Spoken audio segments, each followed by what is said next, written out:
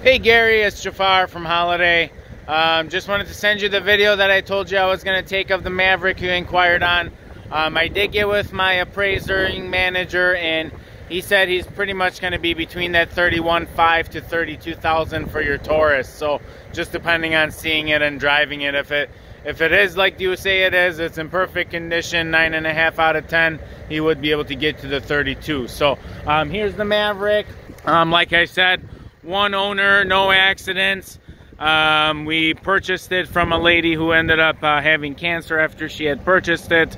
Um, from what I looked on it here, I didn't see a single scratch.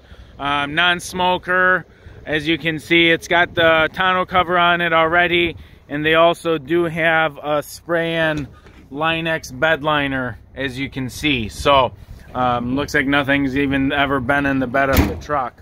Um, all-wheel drive, two liter, four cylinder turbocharged engine. Obviously 5,000 miles only on it.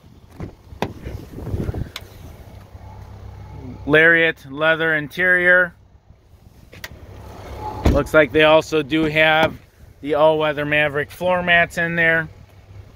Dual climate control, backup camera, touchscreen.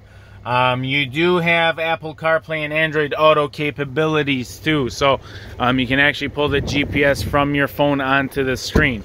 Um, if you have any questions or just let me know when you decided to come up here, um, you can give me a call back on 920 446 87. Thank you, Gary. Bye bye.